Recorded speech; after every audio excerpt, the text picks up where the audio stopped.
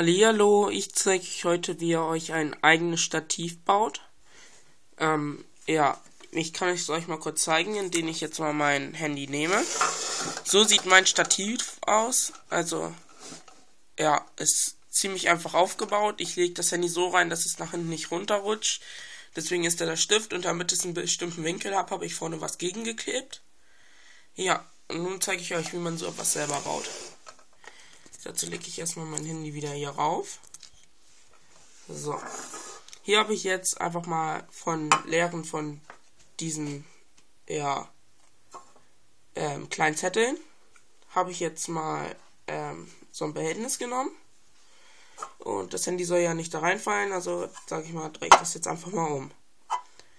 So, wie man das jetzt sieht, und man will ja, dass das Handy aufrecht steht. Also habe ich hier jetzt mir einfach eine ganz normale Patrone, diesmal von Stabilo genommen. Und klebe die so in was für einen Winkel ich das haben will. Ich benutze dazu jetzt einfach mal mein iPod, um zu sehen, wie ich das später haben möchte. So. So. Ja, die Höhe ist schon gut. Und das ist einfach jetzt die ganz normale Standhöhe. Also nämlich das lege ich die hier so in die Mitte circa und nennen das Tesafilm. Ganz normales, stinknormales Tesafilm, kein anderes Tesafilm, so das Tesafilm, was jeder benutzt. So, dann klebe ich es hier mal fest. Am besten mit ein paar Streifen, damit es nicht nach vorne wegkippt. Das hatte ich schon mal. Also immer schön fest am besten ein paar Streifen nehmen. Festkleben, denn man will ja auch nicht, dass das Handy was passiert. So, aber wie man sieht, wenn ich das jetzt hier hinlege, rutscht der mal nach hinten weg.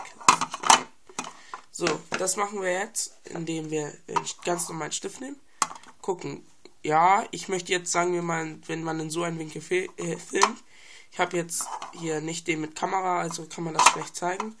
Aber wenn ich jetzt in so einen Winkel haben will, jetzt etwas höher so, dann will ich den Stift hier hinkleben. So, dann nehme ich das. Nimm wieder ein bisschen ähm, Tesafilm und klebe den Stift, Stift an dieser Stelle fest. So. Das müsste eigentlich schon reichen, zwei Streifen. Wenn ich den jetzt hier, reinste äh, hier reinstelle, muss man dann mal gucken. Ich habe das jetzt etwas ungünstig geklebt. Deswegen nehme ich das nochmal ab. Das muss nämlich nahtlos sitzen, weil Tesafilm ist sehr rutschig. So, das habe ich auch falsch geklebt. So. Und wie man jetzt sieht, ist es hier ganz normal festgeklebt. Und tada. Das iPod oder Smartphone hält. Ich kann euch das nochmal von der anderen Seite zeigen. Das ist also dazu da, damit es einen bestimmten Winkel hat und das halt, damit es nicht runterrutscht. Und ja, ich mache das so, wenn ich jetzt zum Beispiel aufnehmen will, einen höheren Winkel, dann nehme ich hier zum Beispiel sowas und lege es einfach mal dazwischen. Weil wie man sieht, ist dann der Winkel etwas höher, so kann man andere Sachen aufnehmen. Und wenn mir das generell zu niedrig ist, dann nehme ich jetzt zum Beispiel das Teil hier, stelle es oben drauf, dann kann man nämlich ähm, von weiter oben filmen, wie man das jetzt sieht. Ich hebe jetzt mal kurz mein Stativ hoch. Ja, das war's mit dem Tutorial. Vielen Dank fürs Zuschauen und ciao.